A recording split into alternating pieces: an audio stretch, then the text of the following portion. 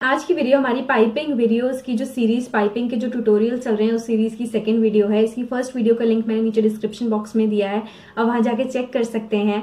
तो इस वीडियो में हम आपको बताएँगे कि एक बेसिक और इजी मेथड कौन सा है, जिससे आप अपनी नेकलाइंस के ऊपर पाइपिंग्स को ईजिली लगा सकते हैं। फिर चाहे आपकी नेकलाइन की शेप कोई भी हो राउंड है वी है स्वीट हार्ट है बेसिकली गोल गले जिनमें कर्व्स हैं, वहाँ पर ये वाला जो टेक्निक है ज़्यादा सक्सेसफुल होता है। तो बने रहिएगा इस वीडियो के एंड तक। हमारी इस वीडियो को लाइक और शेयर ज़रूर कीजिएगा अगर आपको ट्यूटोरियल पसंद आया और हमारे चैनल को सब्सक्राइब करना मत भूलिएगा। हेलो एवरीवन मैं हूँ रुपिंदर, आपके ऑनलाइन फ़ैशन स्कूल की इंस्ट्रक्टर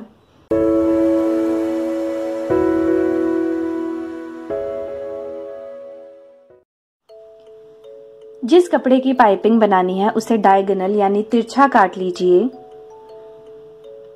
एक लंबी पट्टी तैयार करने के लिए इस तरीके से छोटी छोटी पट्टियों को आपस में जोड़ लीजिए।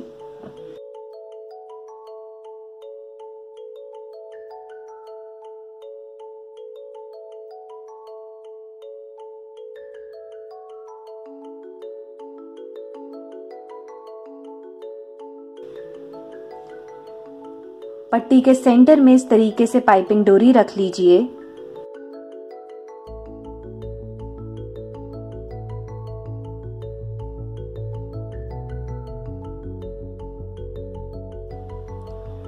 डोरी को प्रेशर फुट के एक पैर के नीचे दबाते हुए इस तरीके से सिल लीजिए।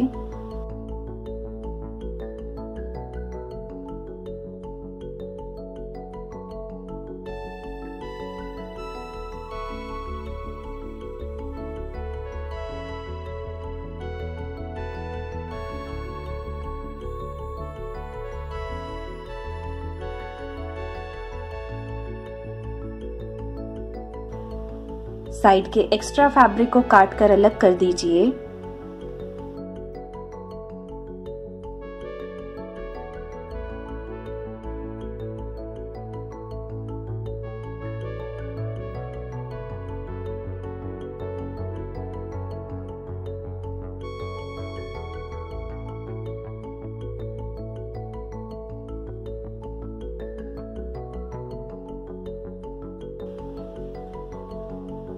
अब इसे नेकलाइन की शेप पर अटैच कर लीजिए।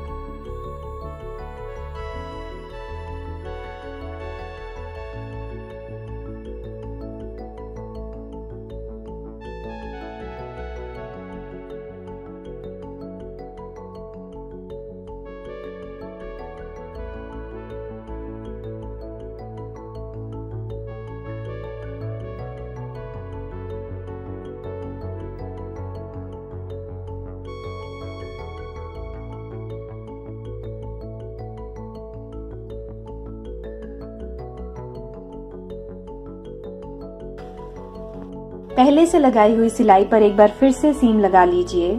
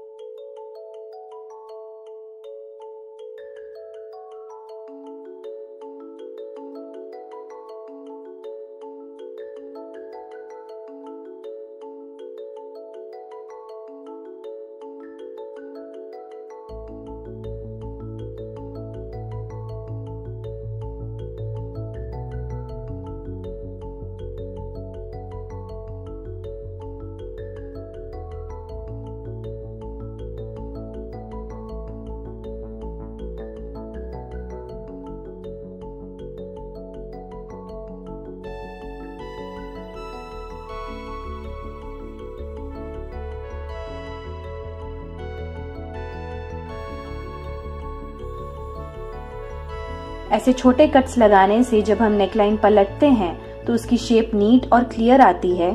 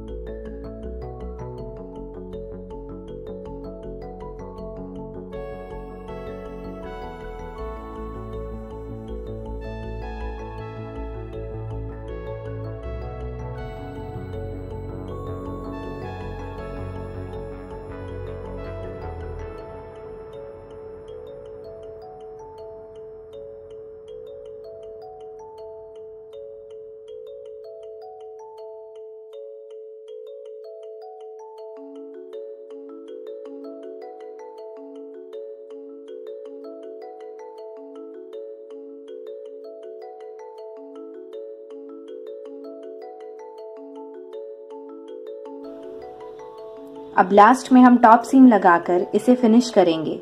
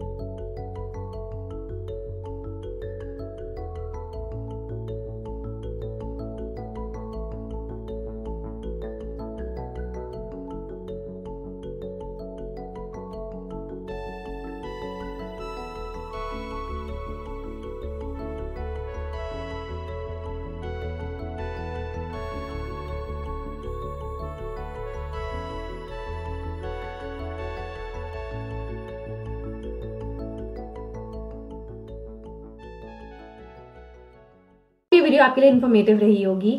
और आप में से बहुत से लोगों ने क्वेश्चन पूछा था पिछली वीडियो में कि ये वाला तरीका ज़्यादा सक्सेसफुल है पाइपिंग लगाने का, या फिर जो हमने फ़र्स्ट वीडियो में बताया था फ़र्स्ट पार्ट में बताया था, यानी कि स्ट्रेट पट्टी काट के पाइपिंग लगाना इज़ बेटर या फिर टेढ़ी पट्टी काट के पाइपिंग लगाना बेटर है।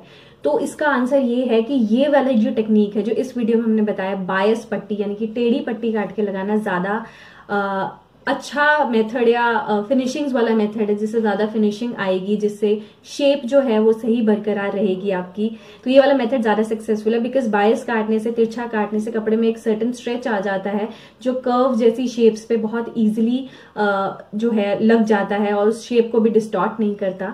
वेर एज जो फ़र्स्ट वाला मेथड हमने बताया है, वो भी बहुत हद तक सक्सेसफुल है, लेकिन वो उन, उस केस में ज़्यादा सक्सेसफुल है, जहाँ आपके पास कपड़ा लिमिटेड है पाइपिंग का जो कपड़ा है, क्योंकि सीधी पट्टी निकल जाती है टेढ़ी पट्टी के लिए कंपैरेटिवली ज़्यादा फैब्रिक चाहिए होता है आपको। तो अगर आपके पास चॉइस है, आपके पास इनफ फैब्रिक है तो आप ये वाला मेथड ही प्रेफर कीजिएगा। फिर चाहे वो आपके टॉप्स की पाइपिंग है, आपके साड़ी ब्लाउजेस की है कुर्तीज की है सूट्स की है, किसी भी चीज़ की है, अगर आपके जो गले हैं स्पेसिफिकली अगर वो कर्व्स में है राउंड यू ऐसे शेप्स हैं उसमें तो ये वाला जो टेक्निक है ज़्यादा सक्सेसफुल होगा। सो आई होप मैंने आपके क्वेश्चन को आंसर कर दिया होगा। हमारी इस वीडियो के नेक्स्ट पार्ट के लिए हमारे चैनल के साथ बने रहिएगा। थैंक यू सो मच हमारे चैनल को इतना प्यार, इतना सपोर्ट देने के लिए। अगर आपको हमारी वीडियो पसंद आई प्लीज़ लाइक शेयर ज़रूर कीजिएगा और हमारे चैनल को सब्सक्राइब करना मत भूलिएगा अगर आपने अभी तक नहीं किया है। Thank you so much